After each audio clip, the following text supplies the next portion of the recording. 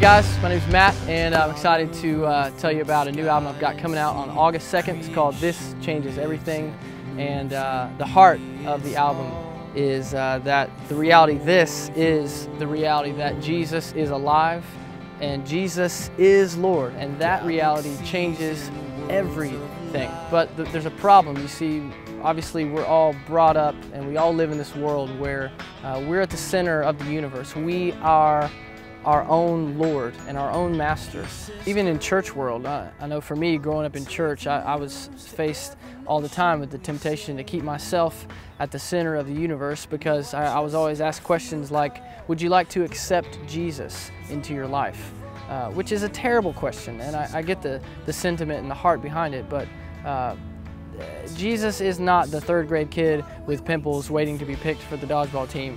Uh, he's Lord of the universe and needs none of us to accept him. Probably the better question is, has Jesus accepted you? And so I really believe there's a lot of Christians, maybe even some watching this video right now, who uh, don't actually believe that Jesus rose from the dead. Let me explain what I mean by that. Uh, you see, there's what's called rational atheism, where somebody has logically con concluded that there is no God.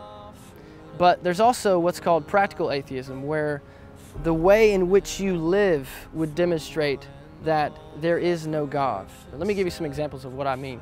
For instance, if you're a, a Christian and you say, sure, yeah, Jesus rose from the dead, I believe that, and yet you won't and can't forgive that person who's wronged you, do you really believe he rose from the dead? Because the same one who rose from the dead is the same one who said, Forgive as you have been forgiven. So, no matter what you might say with your words, what your life is actually saying is that his bones are still in that grave. Another example uh, if, if money is your world and you're all about the Benjamins, all about making cash and, and greed is what drives you, and yet you say, Sure, I'm a Christian. I believe Jesus rose from the dead. Well, do you really? Because the same one who rose from the dead is the same one who said, Give up all your possessions. And so while you might be saying with your lips that Jesus is alive, what you're saying with your life is that his bones are still in that grave.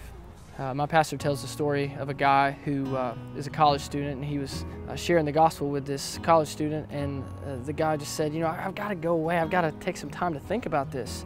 And uh, he said to him, you know, well, tell me what's going on. And he just said, if Jesus Christ is alive, and then uh, that, that totally is, is going to alter everything about, you know, everything about my life. You know, I'm a, I'm a college student. I'm, I'm doing this major. I'm going this direction. I've kind of built a roadmap for my life. But, but if Jesus actually rose from the dead and, it, so, and thus uh, vindicating and verifying everything he said to be true, and that alters everything. It changes everything. And that's, that's the heart of this thing. Um, I ask you the question.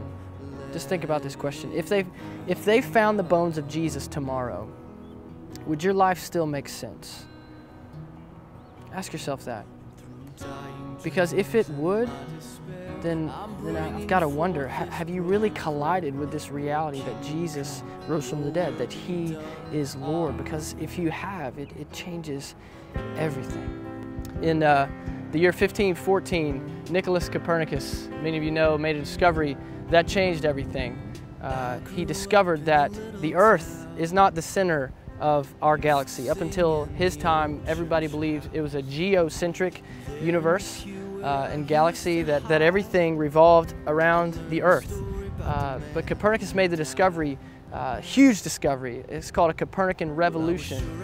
Uh, made the discovery that we're not the center, actually the sun is the center and we're this dirt ball uh, of water floating around uh, the sun. And now, obviously, it's not a, not a huge deal for us today, but back then, it was enormous because all of a sudden you started to feel, people back then started to feel real small and started to come to grips with the reality that, that maybe we're not it, that maybe there's reality outside of us and we're not the center. So the heart of this album, my prayer is that um, as you collide with the gospel, as these songs and these words bring you into collision with the reality of Jesus is Lord, with the reality of the gospel, that all of a sudden this life that, that you're living, you're on this course of me and, I, and I'm, I'm the center, that all of a sudden you would collide with this reality that He is the center, He is Lord. And so with this reality in mind, I ask you the, the famous Francis Schaeffer question, how then should we live? Jesus is alive. This changes everything.